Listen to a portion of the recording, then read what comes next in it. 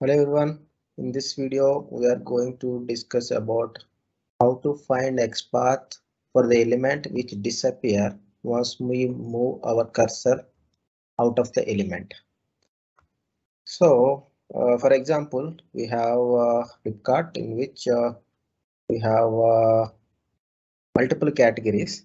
Okay, let us consider we have to go to the electronics under that audio and we have to find the XPath for all.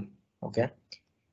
So for that I can right click here and click on inspect, which is highlighting the element you can see on the DOM. It's highlighting the element.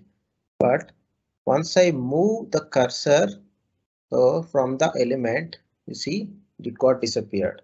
So I'm unable to write the XPath.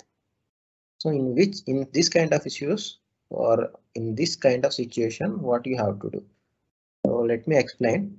So first you have to go to the sources tab. So once you go to the sources tab repeat the process again. Going to the electronics and go to audio and go to all. Okay? Then click on the f8 button. So now the screen freezes. Okay?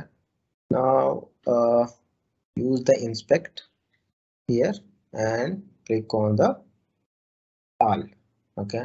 So now you can see the screen is still there and you have you can find the all from that.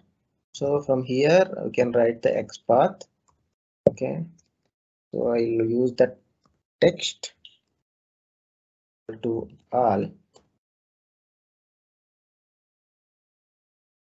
We are able to find the element so this way by going to the sources tab and uh, using the F8 you can freeze the screen and this way you can find uh, the XPath for the elements which disappear uh, once we move our uh, cursor or control from the element.